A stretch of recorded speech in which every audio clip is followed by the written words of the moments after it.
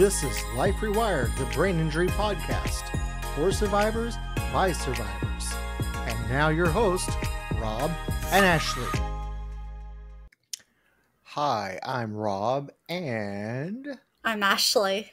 And she is finally back. Welcome back, Ashley. It's so nice to see you again. Good to see you too. Everyone has been asking about you, and I have told anybody nothing.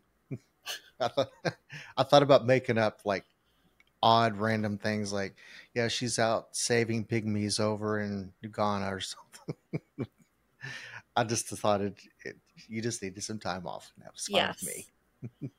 Sounds good. Yeah. So today, Ashley has come up with the idea to talk about a topic that might resonate with a lot of you. Um, it's called Love is Possible After a Brain Injury. Yes. Okay. I Good. I nailed it. So, Ashley, why don't you get us rolling on this? So, when me and Rob had first talked, um, Rob's brain injury had happened while he was married to his wife. Mine happened before I met my husband. Um, so, just wanted people out there to know that it definitely is possible to find somebody after sustaining a brain injury, concussion, post concussion syndrome, whatever label you want to use, that there are people out there that are willing to love you for who you are and see you through um, the bad days. And uh, I was actually um, doing the online dating thing at the time when this happened. So I kind of let him know you know, because this was before we had a chance to even go on our first date, but we had started talking prior to the brain injury, which was my concussion happening, and uh, told him, Look, I understand. I'm not sure how long I'm going to be, you know, doing my physical therapy and occupational therapy, be out of work. Um, and he said he would wait for the date. And that's what ended up happening is once I had recovered, you know, we went on a date and, you know, that was back in 2016 and we're been married for two years. So I don't want people out there, you know, who've gone through this to give up hope on finding somebody because it's possible. I'm a living example of that. So I think it's awesome. One thing I want to ask you, and I don't think I've ever brought this topic up before because it just never really dawned on me.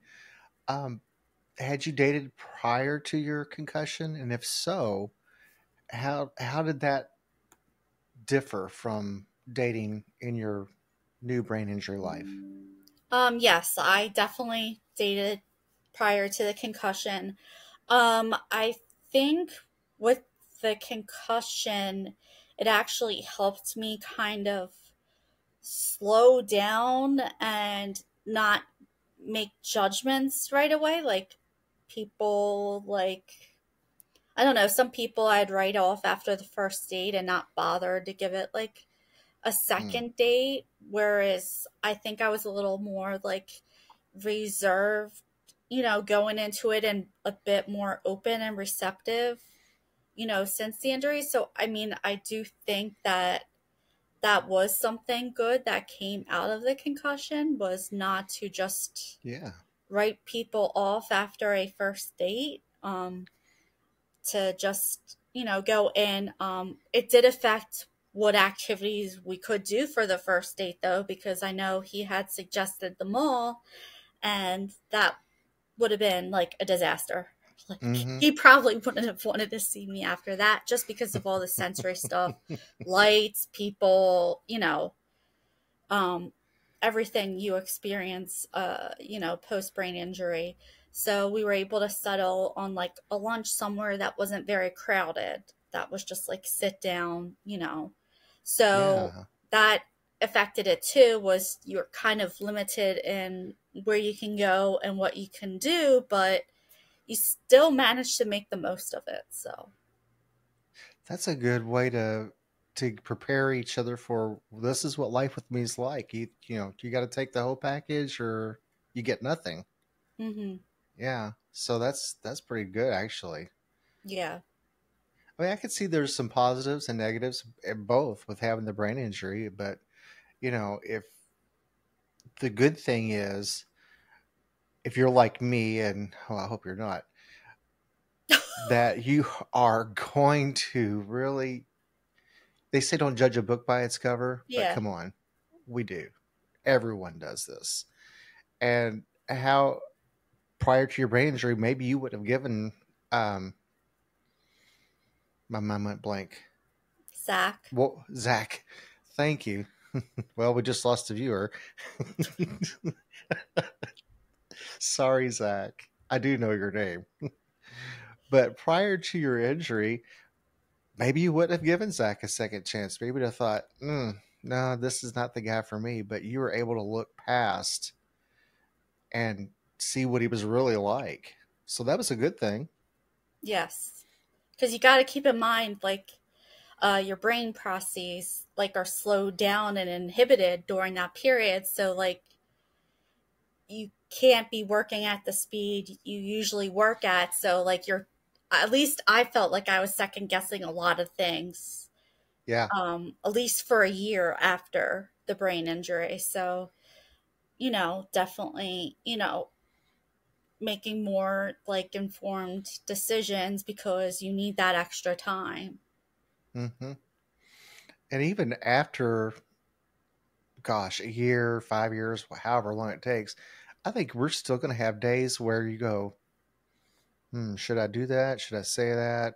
You know, so I, I think it's just going to be part of our life going forward, but still, how much more would you have done before the brain injury? You know, if you're if you're the type of personality that you always second guess everything, and I I'm guilty of that myself. Even to this day, I still do that. But sometimes it's nice to have a partner that will go, hmm, calm it down. you're Yes. you're overreacting because I know Sheila. She kicks in all the time whenever I am overreacting to a situation, and she points out to me that I'm totally misunderstanding what's going on. hmm Yeah. So how was it like though when you were? Um, because I assume you did the online dating prior to your concussion. Right. Did that become more challenging after the concussion to do the online dating? Uh, Zach was actually the only person I went on a date with after the concussion, and we decided to be exclusive. So it, it it just worked out that, you know, like he was still around. So Yeah. I didn't have to like talk to anybody else. It just, you know, kind of hit it all from there. So I don't know if what it would have looked like had I, you know, Yeah. continued afterwards.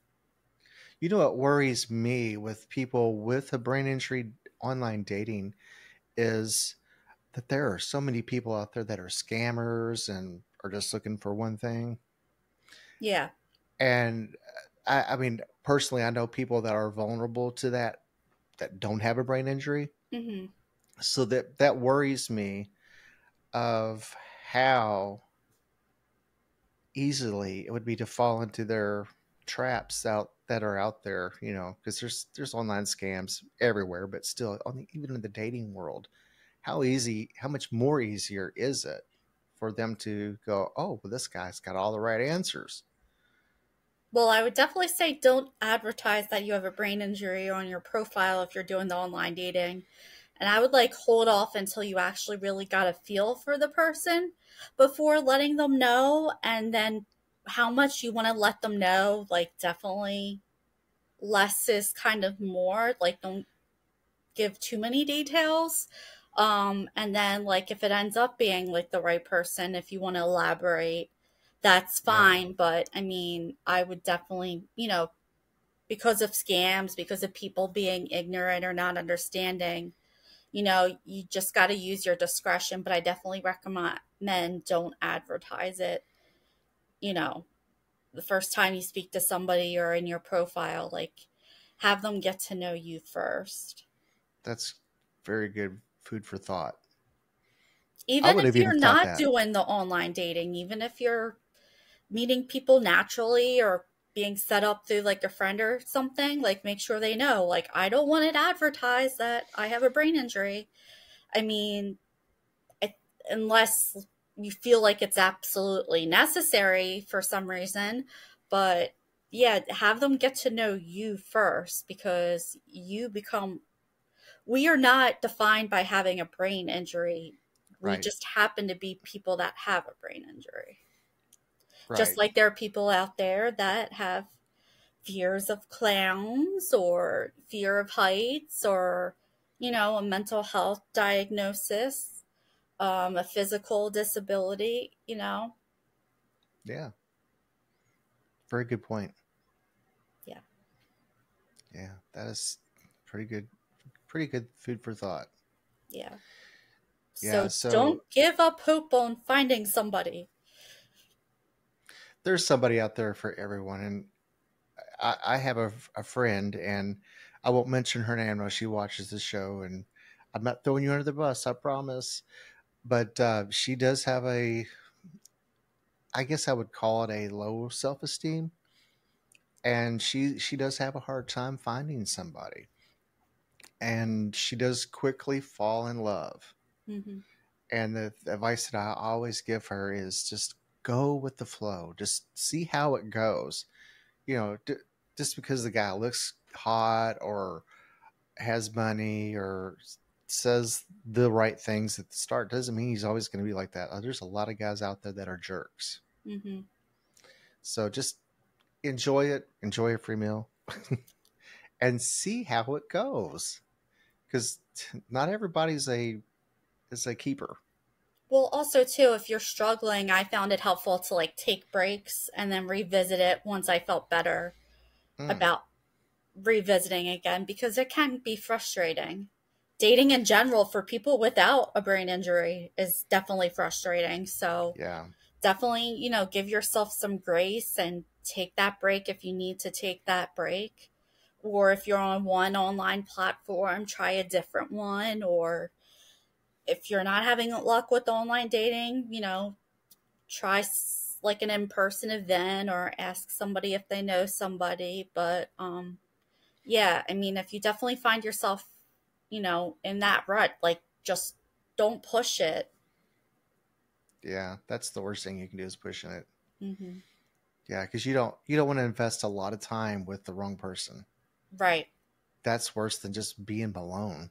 Yeah. And then you put a lot of pressure on yourself for like the date to go well. And then if it doesn't go Yeah. well, then, you know, you're disappointed. So, Yeah, it's just an endless loop. yes. Yeah, yeah. Don't put yourself in that situation. Yes. And, But, I, and um, I've always suggest. Sorry. Go ahead. I was gonna didn't say-. Nobody's ever, uh, I don't know if you've shown a picture of Sheila, but nobody's seen a picture of Zach. So this is Zach and me on our wedding day. This was actually um, our first first look. Um, and you, I don't know if you could tell, but he was hysterically crying when he first saw me. Aw. So that kind of sealed the deal. I had chosen the right one, but um, yeah, yeah. Zach's a good guy. just so you can put a face with a name. Yeah. Sorry, I forgot your name again, Zach. Well, it could have been worse. You could have just been like, "Oh, Ashley and John," and I'd be like, "Well, who's John?" you know, before I actually had a brain injury, I've always sucked with names. Always. Um, I remember a long time ago, I worked at a bank, and most people were called Sheila on a on a good day, but other days, where these names came from, I have no idea. hmm But one day in particular, they were singing "Happy Birthday," and we all stepped out of our cubicles into the into the hallway. And we're when I got to the "Happy Birthday, dear," I looked up at the lady's nameplate so I would get the right name. And Yeah. another woman there totally busted me. She said, "I saw that." so, so Zach, it's not personal. I promise. It's just it's a Rob thing. Yes, a Robism. Yes. Add it to the book. Yes. Wow, I'm so glad that you're back and um, you're going to be taking a trip, I think. My Did parents that right? live my parents live in a different part of the state, um, so I'm gonna go visit them next week. So you'll miss. I mean, you'll see the podcast, um, but we won't be filming uh, next week. Uh, but yes, um, that's my little trip right now. So Yeah. So my best to the parents. thank you. Yeah, and safe travels, and um, we'll see you when you get back. And this this has been all about you. and I'm so glad you're back. So I'll let you close the deal. Don't forget to like, subscribe, and share. And if you have any questions for us, feel free to put them down in the comments. We'd be more than happy to uh, answer any questions. And we also have our Facebook group page and our Facebook support group, which Rob will put links in the video if you haven't checked those out yet. Definitely uh, hop on over. I'm Ashley. I'm Rob. This is Life Rewired. See you guys next week. Bye.